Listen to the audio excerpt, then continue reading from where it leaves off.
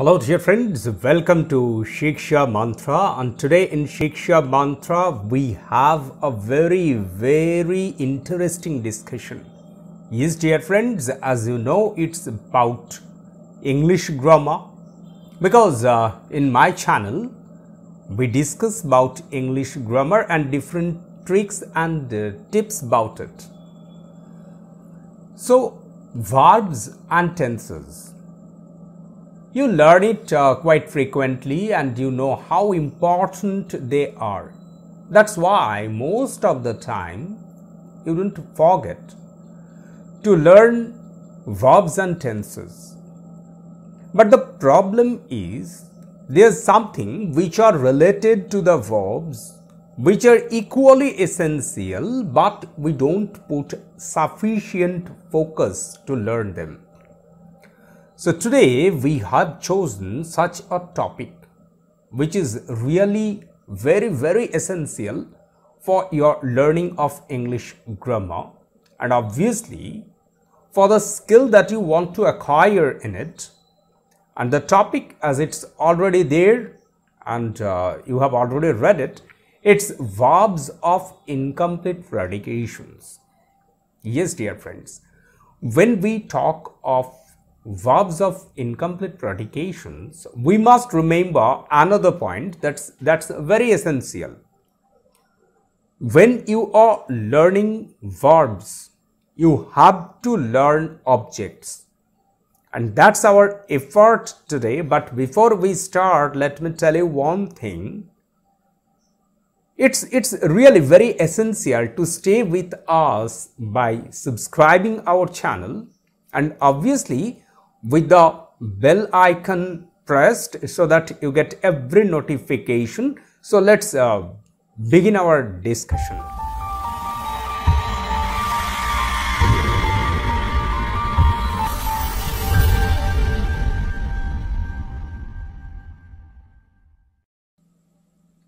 Yes, dear friends, verbs of incomplete predications and objects, they are very very essential. But why are they so essential? This is a point that uh, we are going to learn here. When we talk of verb sometimes they get an object. Object is a, a very essential part for our sentences. But most of the time they don't get an object. So there what they get there they get a complement because the verbs are really they are very elusive. It's really a very elusive parts of speech that i say. Why elusive? The same verb sometimes they're used as transitive sometimes as intransitive sometimes they accept objects sometimes they don't and sometimes without something they don't mean anything. Yes dear friends without something they don't mean anything. So so very different faces they make. They have so very different uh, figures. You have to find them out in so very disguised conditions. And they are really really very much very much disguised, they are very much elusive. So, if you learn that uh, there's a, a verb that gets an object, so when the verb gets an object, it becomes transitive and when there's no object, it becomes intransitive. But that's not everything. Beside this, you have to learn how many types of sentences, how different types of sentences, sentences, sentences we get when we are dealing with intransitive verbs. Yes, dear friends. You know copulative verbs. We have the uh, discussion of copulative verbs here in this channel. And today we are here to discuss verbs of incomplete predications. So what are the verbs of incomplete predications, how they do and uh, what are the most important things that we have to learn about them. Let's uh, have a discussion here. So first we have said that an intransitive verb they do not take an object. Intransitive verbs they do not take an object. We know it. So yes, uh, I have uh, given two examples. One is birds fly. So birds that's the subject and fly that's the verb. But is there any object? The question is, is there any object? The answer is very obvious and you know it that there's no object for this sentence. So when there's no object, this is obviously an intransitive verb. Now you'll say, sir, I know it. Why are you repeating? The point is there. That's why at the very beginning I've told you that intransitive verbs are really very elusive. Just have a look at the second sentence, fire burns. Here also the verb doesn't have an object. But without the object, the sense of the sentence is 100% clear. There's no ambiguity in this sentence. You can understand what the sentence speaks without an object. That means sometimes with this construction, an intransitive verb is sufficient to answer, but sometimes, not all the times. That's why we have to put the discussion of intransitive verb without object here.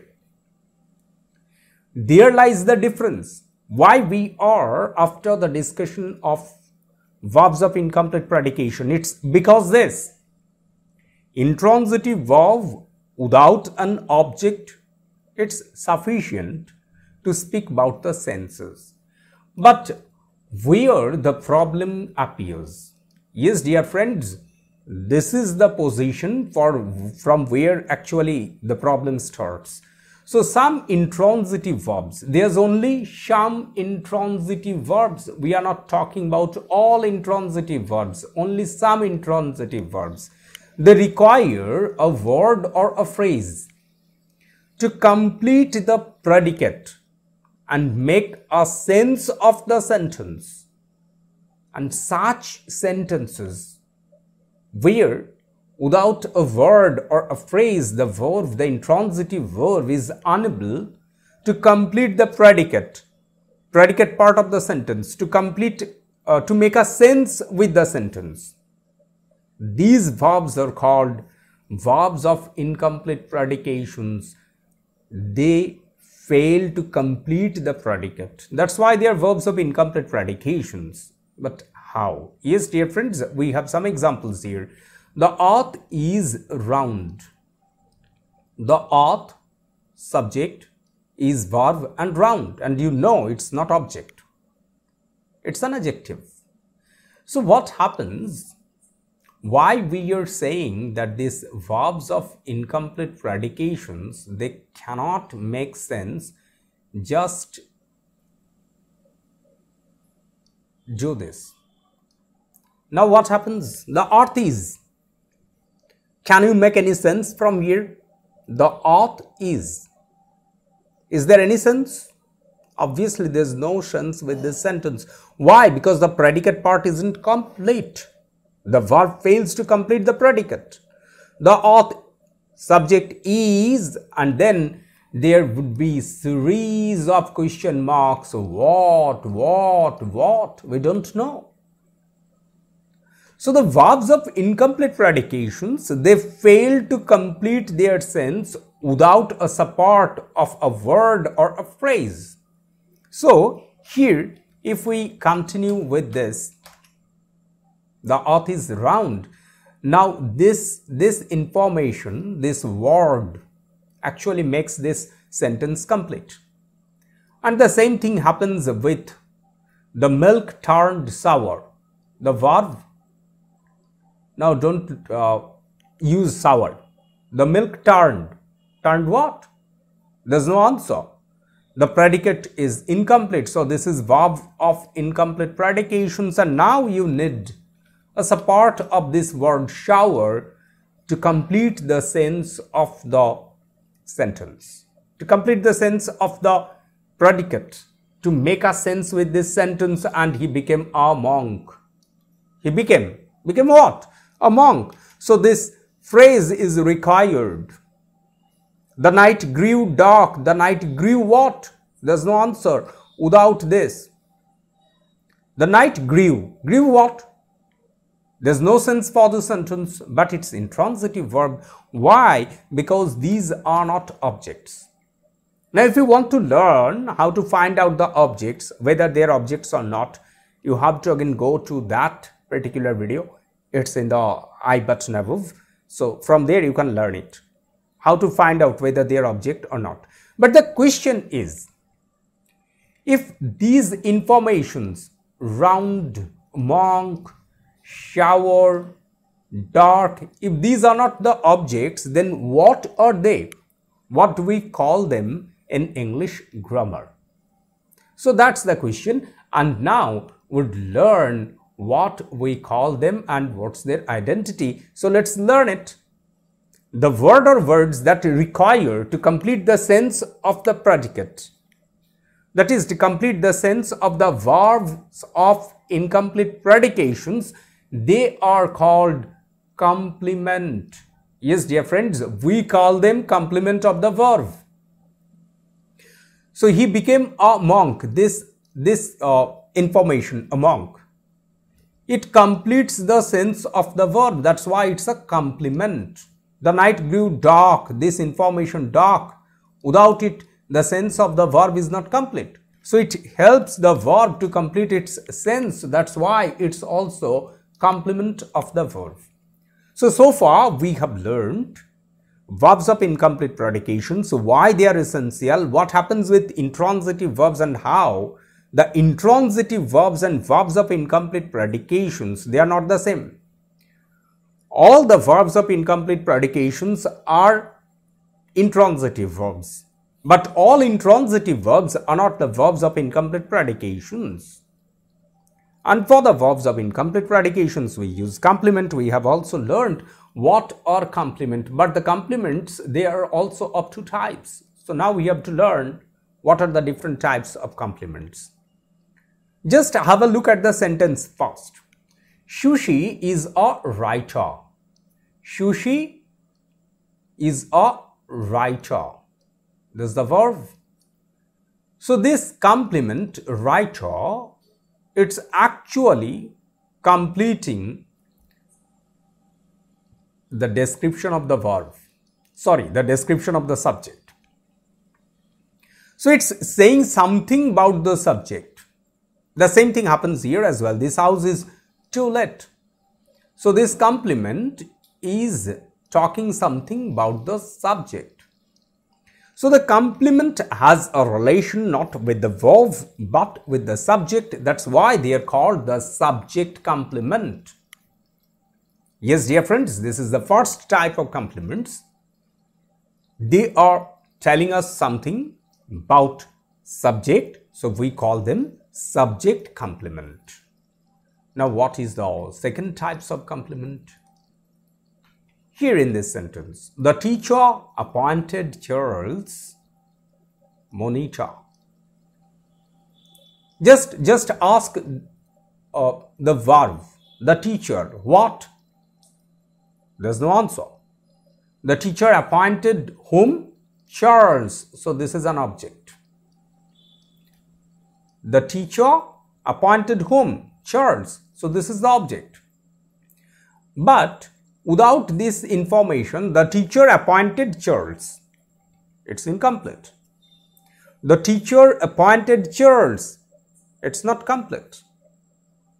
So, this object also require a complement to complete its sense. The teacher appointed Charles monitor. So, when the object is provided with a complement, it makes sense. The same thing happens for the last sentence as well. Frustration drove him, object, mad, complement. So it's complement, it's object. Frustration drove him. There's no sense. Drove him what? Mad. The frustration drove whom? Him. So there's the object. Him is the object and there's no confusion in it.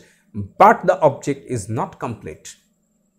The object cannot make a sense all by itself. So it requires a complement, a support to complete its sense and there comes mad the complement to help the object to make sense, to complete their meaning and we call them object complement. Yes dear friends, but remember object complements are not related to the verb. These are not part of the intransitive verb. Rather, they complete the sense of the object, not that of the verb.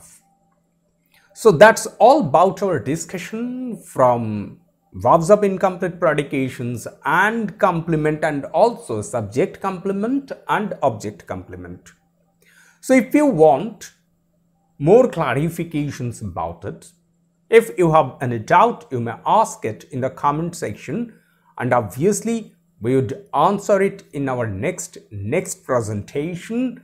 So stay with us by subscribing our channel and we are returning very soon with another fresh discussion. Till then, bye bye, happy learning.